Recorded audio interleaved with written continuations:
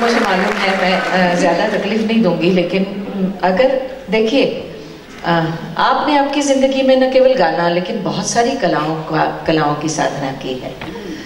मैं आपसे पूछना चाहूँगी, फिर आपको जो बोलना है, आप बोलिए, कि अगर आपके जीवन की फिलॉसफी किसी आप ही के गाए हुए गीत में हो तो वो कौन सा गीत आप हमें सुनाना चाहेंगी?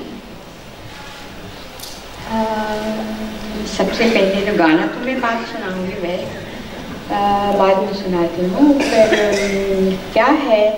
मैंने आज तक इतने गाने गाए सब संगीत की सेवा की और बहुत सारी कलाओं में मैंने काम किया। मेरी माँ से मुझे बहुत सारी कलाएँ मिली, जैसे knitting tatting crochet macrame pin lace knitting needle lace और मशीन एम्ब्रॉयडरी हैंड एम्ब्रॉयडरी फिर drawing I mean pencil drawing then बहुत सारे हैं। आप खुद पेंटिंग भी बहुत करती हैं। हाँ पेंटिंग तो बहुत पेंटिंग करती हैं। पेंटिंग तो ये सब कलाएँ मैंने बहुत इन सब में आ, बहुत काम किया है। और उसने बहुत ज़रूरी एक बात कही, जैसे औरतों को होना चाहिए कैसे गृहिणी कैसे होती है, गृहिणी का मतलब क्या है, और गृहिणी माने औरत में शालीनता होनी चाहिए, और कम बोलना चाहिए, कम बोल के, क्योंकि बेकार की बातें बोल के सोशलाइजिंग नहीं होता है ऐसे।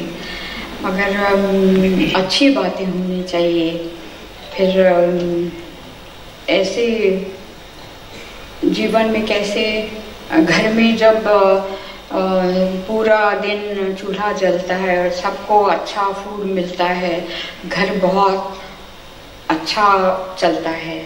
ऐसे सब बातों में मैंने बहुत कुछ ख्याल रख। के ऐसे हुआ तो जीवन बहुत सुखी हो जाता है।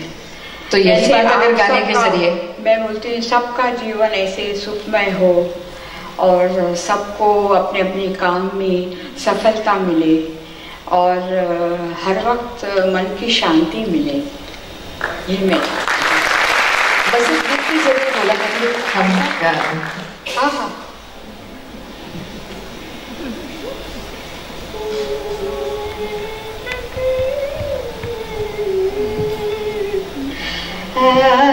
रहे न रहे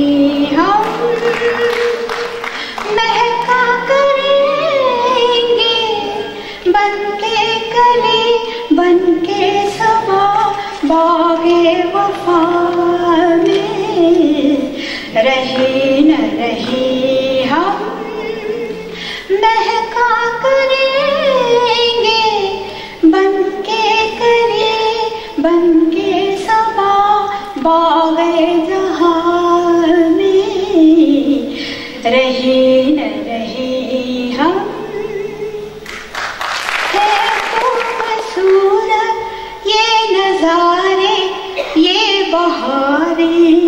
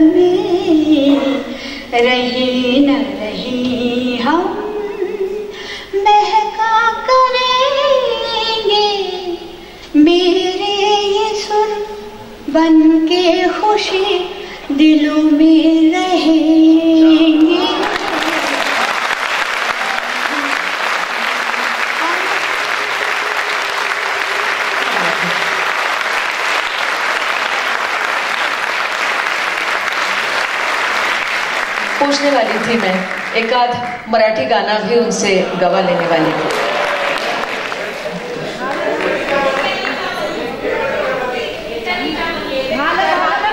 आणि घड आणि जर वेळ जर जास्त झाली तर आपण सगळे मिळून पैसे भरणार आहोत का की विजय पालकरांनीच भरायचे. तेवढा फक्त विचार करायला पाहिजे. पण ठीक आहे. म्हणजे तुम्हाला मी नाराज करू इच्छित नाही. मराठी के बहुत सारे गीत आहे किसी एक गीत से तो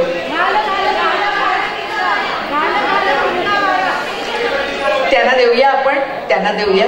तो चॉईस त्यांना देऊया. कारण आपण त्यांना अचानक सांगतोय हे. काय बरं केतकीच्या बनी की मृदुलकरांनी की जिथे सागरा की घाल घाल पिंगा? आई बाई काय? त्यातल्या त्या तुका म्हणे त्यातल्या त्या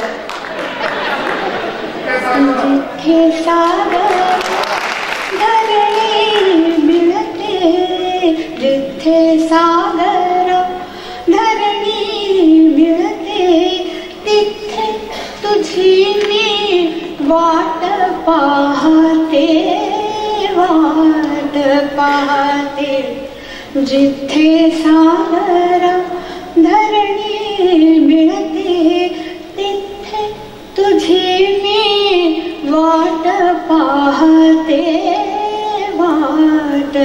हो।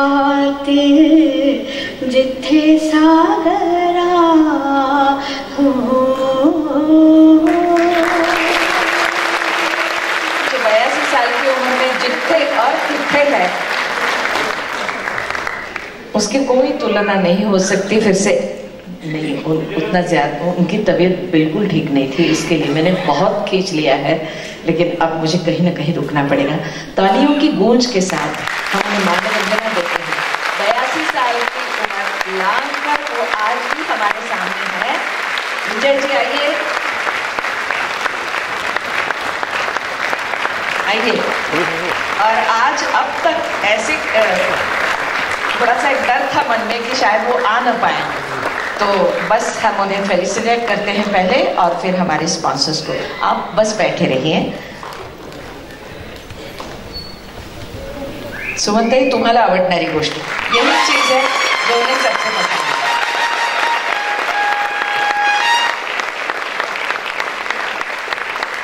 बस अभी हमारे जो प्रतिनिधि, हमारे जो स्पॉन्सर्स वहाँ बैठे हैं, उन्हें मैं, सुमन जी, यहाँ मौजूद हैं, तभी यहाँ आमंत्रित करती हूँ, आप बैठ जाइए, दो ही मिनट का काम है।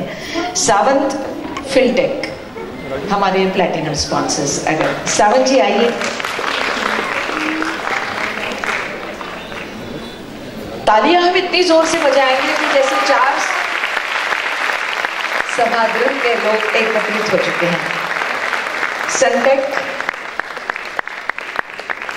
अरे वाह। विजय पालकर जी की कन्या आई आहे अब। त्यांच्या हातातलं घ्या म्हणजे ते इथेच उभे राहतील. सनटेक और इंडियन ऑयल कॉरपोरेशन हमारे गोल्ड स्पॉन्सर्स आइए आइए।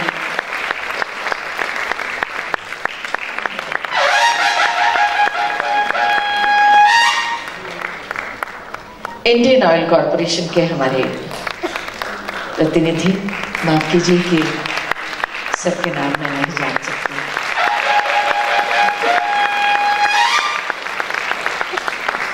मैं हमारे आप यही बने रहिए।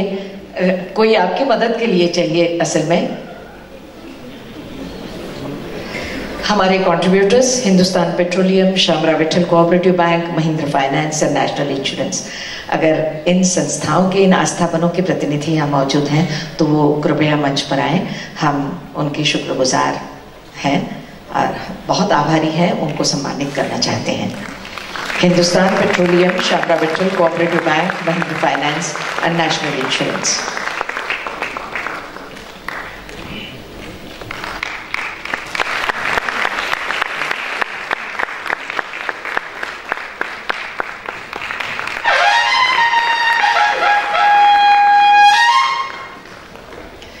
Vijay ji, अब ऐसा करते हैं कि एक छायाचित्र आपके स्पॉन्सर्स और सुमनताई आप आइए यहाँ। आप दोनों यहाँ आइए। नहीं नहीं, आप हाँ आ जाइए आ जाइए। जैसे आप उचित समझे। यस ये छायाचित्रकारों के लिए।